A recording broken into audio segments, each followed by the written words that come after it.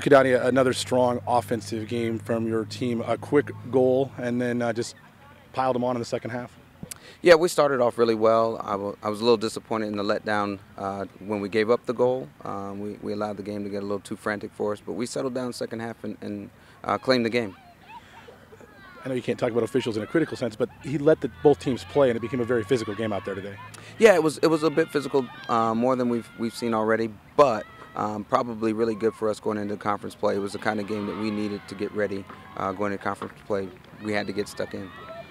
You got contributions on the stat sheet from probably your, your three main goal scorers today. That, has got to feel pretty good that they're all involved right now. Yeah, getting getting Joss getting two goals uh, today and, and, one on Friday, getting her in, in the scoring sheet is uh, fantastic. And then we need to just keep Brandy and Michaela going. So I'm happy. And it was a tough day to do it uh, with the field conditions and what all we we talked about you getting uh, your starting lineup set. You're, you're still seeing a, look at both keepers. Uh, have you figured out is that the plan going forward? Or are we going to just uh, make a decision here coming in the next couple days? Next couple days. Next couple days, we'll we'll solidify which way we're going to go. But uh, the good thing is both of them are playing great, and they didn't have to face a lot, but they're solid in the things they had to do today, especially in their kicking game. Both of them. And the best thing about a, a lopsided score is you get an opportunity to clear your bench and get everybody in the game today.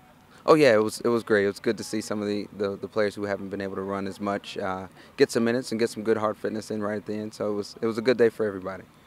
And then uh, the good news is it's a win and conference is coming. The bad news is it's a short week before you go down and play the Bruins. Yeah, we'll have to make sure we start our recovery today, ice it up, uh, you know, get our tactics in place really quickly. But I, I think this was a good way to, to get us ready for it.